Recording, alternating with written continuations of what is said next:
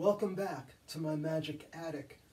You may not know this about me, but I am colorblind. Then again, as you look around here at all the colors, you may have suspected as much. My brothers, my grandfather, and I all have color blindness, which is widely misunderstood by people. It's not that I can't see colors, it's just that where you may see green and brown as different colors, my eyes don't really pick up the difference.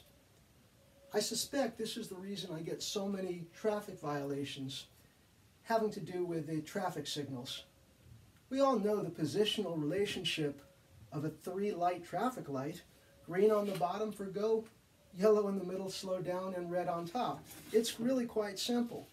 Yet somehow I get a lot of tickets, and I suspect it has to do with my problem seeing color. Just to give you an example, as I'm coming to a light, and it's changing, I'm watching to see where things are. I know if the bottom light is lit up, I can go. And if the middle light is lit up, I should slow down. And if the one on top is lit up, I should just stop. But as you see, it doesn't always work out that way. Now, I'm a little bit confrontational, and I tell you that after getting as many tickets as I have, it occurred to me, I'm solution based. If I took my Crosman BB gun and shot out the red, red light, it would only leave the yellow and the green, and then I could just go all the time. And of course, the red, the red, wait a minute. Ah, you see, I can't win. Stratosphere is a wonderful and deceptive effect introduced by U.F. Grant in the 1940s. The original one came with a white tube and had symbols like this, and it came with a box.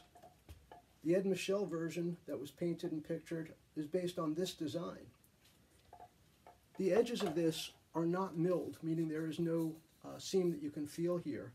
And there were changes in the colors over the years.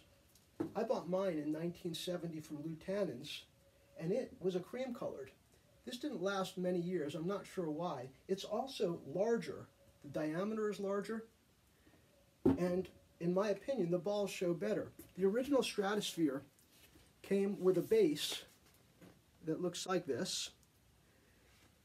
The one from Tannen's came with a base that was uh, had this cut in the sides. The original came with rubber balls that you could bounce. It also came in a smaller diameter box than the later boxes that were put out with the uh, with the cream colored one. The white version, which most of us know, goes back to the original dimensions and has sort of the brighter balls. They're a little smaller, I'm not sure if you can see that, and an even simpler base. Jimmy King painted these, and that one came with a box that had a sort of greenish, again I'm colorblind, but a greenish uh, color and the Joker on the front. Hope you enjoyed this look at Stratospheres.